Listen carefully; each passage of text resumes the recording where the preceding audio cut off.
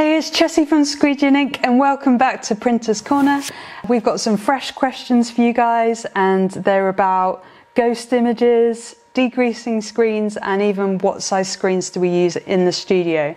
If you have any questions for us, don't forget to use hashtag Printer's Corner, and then I'll pick those up and try and answer those in a future episode.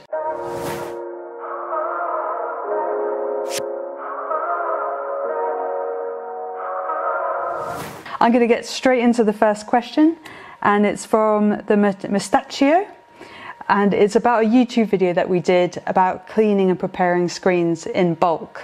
So the question is Do you remove ghost images every time? And thank you for your videos, they're useful. Thanks. The answer to that is it depends on what ink you're using and how severe the ghost image is. When we used to print water based a lot for like printing artworks, you'd always get ghost images because you're using water based inks on the mesh and it's literally what the ink is supposed to do, which is dye the fibres. So, dyeing the fibres of the mesh is just something that also happened.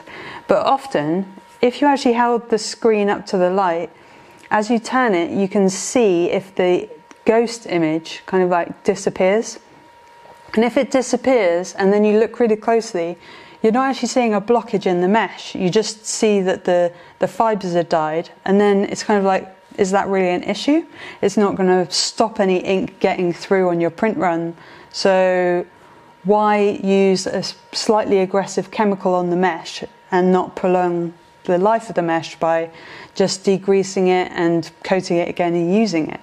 So I think unless it's really bad or it's getting in the way of you actually registering your screens because it might have been dyed with lots of black ink, if you don't need to, I would leave the ghost images, especially of water-based ink, on the mesh and just kind of get away with it for as long as possible, as long as it's not blocking it.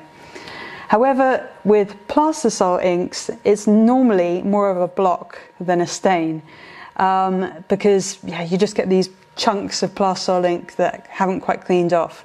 So it's more in your process to actually try and remove plastisol from the mesh when you're reclaiming. So I don't really just cover the whole screen in like dehazer, for example. I just take little parts and I, I work at those. So I'm going to say it depends. I know that's an annoying answer, with the ghost images question. Hopefully that answered it. If you agree or disagree, let me know in the comments. The second question we have is from Becca Jukes and it's also about the cleaning screens video. Hey Chessie, do you not degrease the screens? We have two more stages after removing the emulsion, a solvent rinse and then a degrease. I'm just wondering whether we are making our lives harder. These are the kind of steps that we do. So we've taken the screen off the press, we quickly take the tape off, put that away, scrape off the excess ink, and then we get it outside. And the people who make our dip tank, which is where we kind of like let our screens soak in some solution, they actually say that that's a plastisol remover, emulsion remover, and then I've even heard people say that you don't even need to degrease after it. So I don't even trust the dip tank that much because I don't want plastisol ink all over my dip tank and like you know on the surface and all that type of thing it just doesn't sit well. So i actually do take the plastisol ink off with a chemical and rinse it off and then i think it's clean enough to go in my dip tank. I just let the dip tank take the emulsion well actually soften the emulsion bring it back into the tank and then power wash the emulsion off. Whether i would degrease at that stage depends on whether i'm planning on quickly drying the screens and then getting them coated quite quickly afterwards. If those screens that I've taken all the emulsion and plastisol ink off are just going to lay around my studio over the weekend, I wouldn't bother degreasing them at that point because I think they're going to get dust and dust and stuff from the studio on them, which will interfere with my emulsion coating.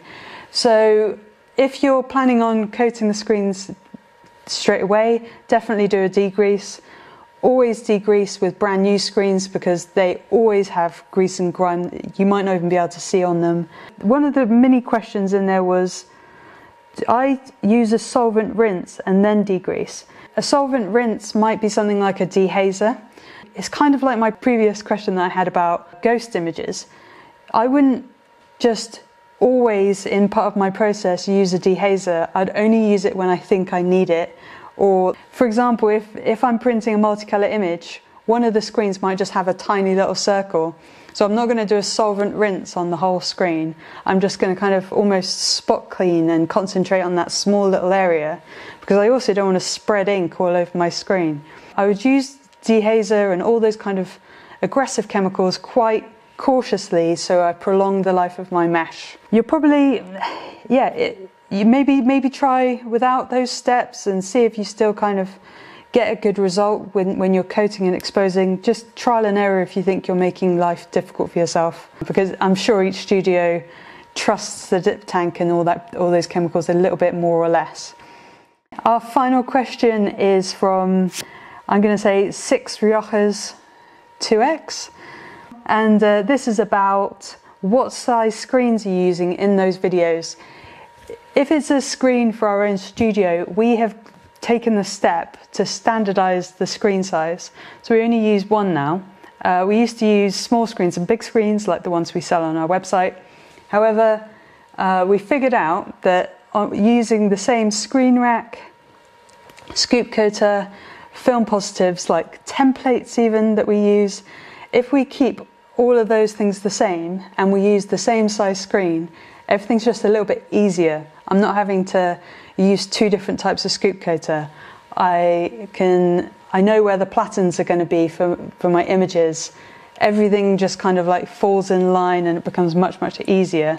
Um, so they're always going to be the 2330 ones, and that refers to 23 inches by 31 inches, and that's the outside screen dimensions. So those big screens means that we can actually just about do oversized prints and we can almost fill the whole platen up with image area. And uh, that's just something that we almost specialize in in the studio is doing really big prints. And it's something that we do for our own brand as well. We like to go really big and graphic just because just because we can. So yeah, they're 2331s. To round up the main question of this episode of Printer's Corner about do you remove ghost images every time, I'm going to say not if I don't have to, and if I can prolong my mesh, I will.